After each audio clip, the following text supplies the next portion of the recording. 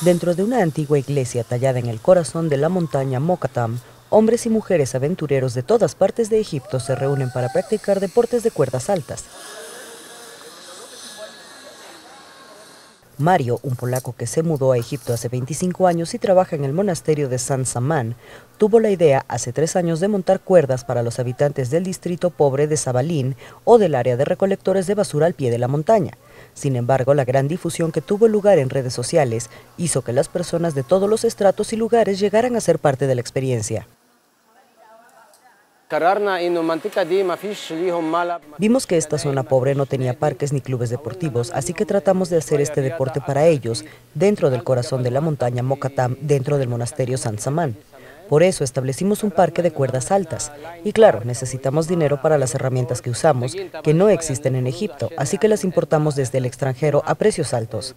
Pero esto lo hacemos con precios bajos porque no pensamos en hacer negocios, pensamos en que la gente que viene aquí a divertirse y a probarlo. Aquí tenemos cuatro juegos aéreos, tirolesa, cuerdas bajas, cuerdas altas y escalada. El deporte más famoso es la tirolesa porque a los jóvenes les encanta volar a 200 metros sobre el suelo. El equipo y las herramientas de seguridad que se utilizan tienen estándares de calidad europeos. Necesito realizar alguna actividad para la adrenalina y para tener condición física. Cuando las personas vienen aquí y hacen estos deportes, conocen a más personas e incluso los que tienen miedo pueden sentirse animados cuando ven a otros hacerlo.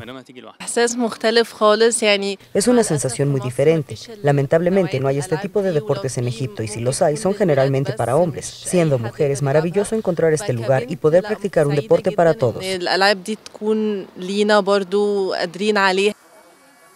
Mario dijo que uno de los objetivos principales de su parque es animar a los jóvenes a hacer deporte y a divertirse.